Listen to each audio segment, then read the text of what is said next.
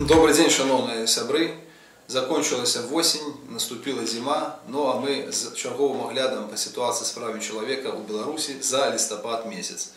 Месяц выдаўся, трэба сказаць, вельмі багатым на рознага кшталту падзеі, в асноўным, на жаль, негатыўныя, але пачнем з больш-менш пазітыўных. На працягу месяца былі спыненыя крымінальныя справы в дачыненні да 14 журналістаў інфармацыйных агенцтваў Белапан і Тутбай.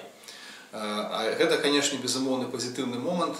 Справы былі спынены сувязі з прыцягненнем фігуранту да адміністратыўнай адказнасці. Аднак, на нашу думку, гэта яшчэ раз падкрэслівае тыя непрапорцыйныя і жорсткія дзеянні сілавікоў, якія мы назіралі на пачатку звучэння гэтай крымінальнай справы. Ператрусы ў рэдакцыях затрымання некаторых фігурантаў справы ізалятара часовага ўтрымання на трое сутак. В той же час мы бачым, што насамрэч можна было абысціся значна менш пагрозлівымі і жорсткімі дзеяннямі.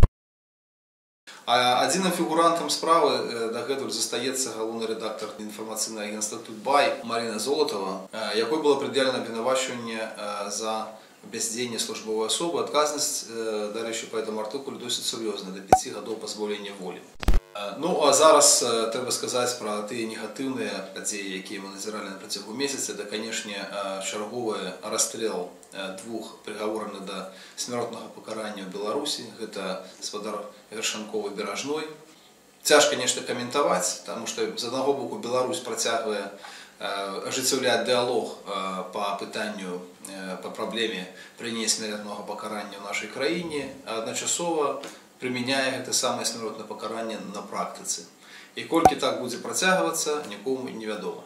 Таксама на працягу месяца назіраліся факты ціску на нашых калегаў праваабаронцаў, у тым ліку і сябраў нашай арганізацыі, так у прыватнасці гаспадар Алесь Буракоў Магілёве быў выкліканы на размову прадстаўніком кастычніцкага роўз города Магілёва, які паведаміў гаспадару Алесю пра тое, што адбываецца да яго дачыненні проверка в межах криминально-процессуального кодекса по артикулу 193 прим Криминального кодекса Республики Беларусь, а менавіта по факте деятельности домене зарегистрированной организации правооборончий центр «Весна».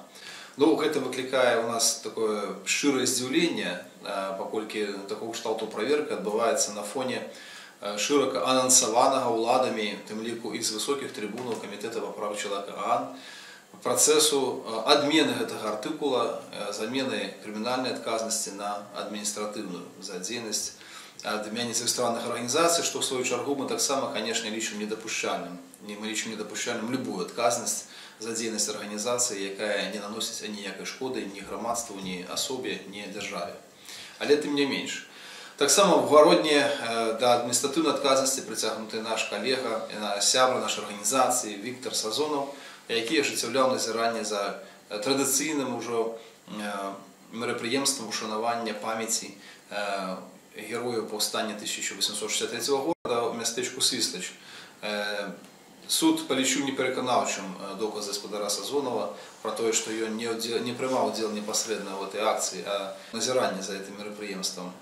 Але суд прызнаў яго ўсё адно вінаватым і прыцягнуў да адказнасці выглядзе штрафу.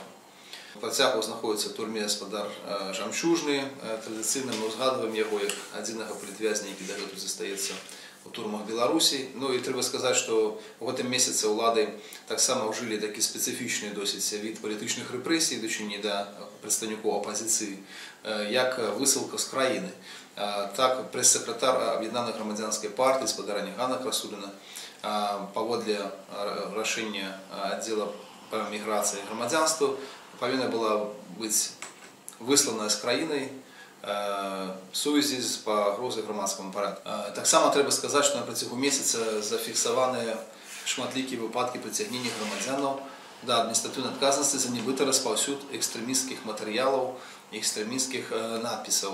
Большасці выпадкаў гэта ніякім чынам не звязана сапраўды з распаўсюдам экстрэмісцкіх нейкіх выказванняў, сімвалаў і так далей. Но судзіце самі, калі прыцягваюць да адказнасці антыфашыстаў гародній за размяшчэнне антыфашысцкіх малюнкаў і плакатаў, дзе, напрыклад, намаляваны чалавечак, які выкідвае свастыку ў сметніцу, і гэта трактуецца як распаўсюд нацысцкай сімволікі, ну тут як кажуць каменты, каменнікі каментары і неуместны.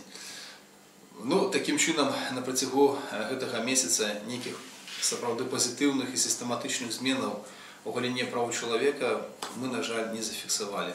Будзем назіраць надалей да новых сустрэч.